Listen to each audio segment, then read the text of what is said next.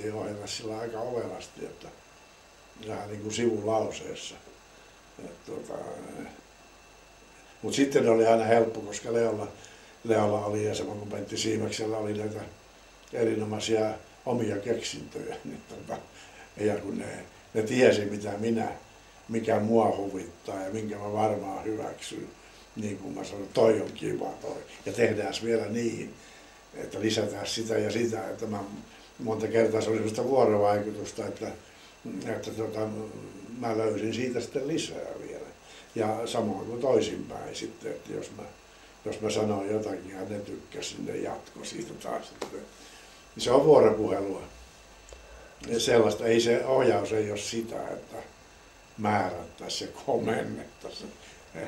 Ohjaaja selittää, mitä hän haluaa ja toiset tekee. Ja, ja sitten antaa monasti ihan yksinkertaisia ohjeita, että hei, pysähdys tuossa kohtaa. Katsopas siitä tänne päin. No juu, toi on hyvä, nyt se ilmaisi.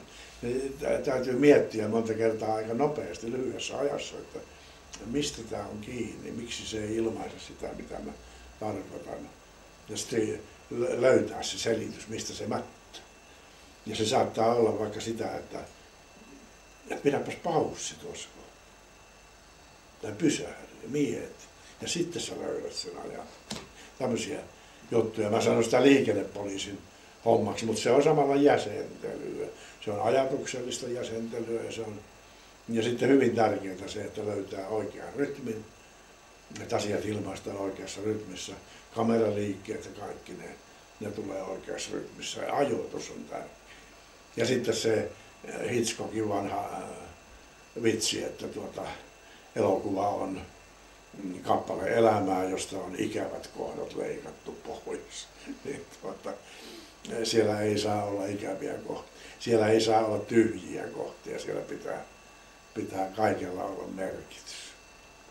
Ja, ja tuota, täytyy niin kuin kuunnella samalla niin kuin yleisön edustajana sitä, että ahaa, mitä nyt yleisö ajattelee. Sitten kun käännetäänkin näin, mitä se sitten ajattelee ja näin ja, ja tunne on tärkeä, koska tunteella, ihmiset katsoo tunteella elokuvaa. Elokuva on tunteiden taidetta ja